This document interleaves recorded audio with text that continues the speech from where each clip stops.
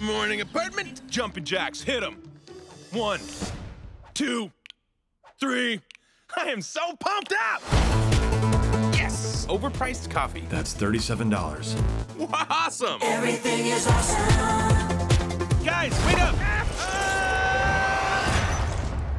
Where am I? Come with me if you want to not die. What is happening? You're the special. And the prophecy states that you're the most important person in the universe. That's you, right?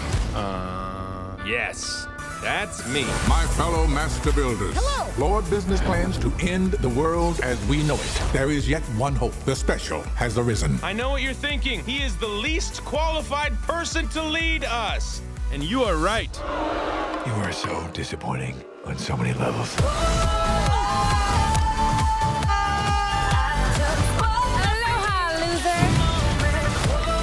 You here to see? I'm here to see your butt. Oh my gosh. Ow. First try. We are entering your mind. What? I don't think he's ever had an original thought. That's not true. Introducing the double decker couch, so everyone could watch TV together and be buddies. That is literally the dumbest thing I've ever heard. To the Batmobile. Dang it. To the invisible jet! Dang it.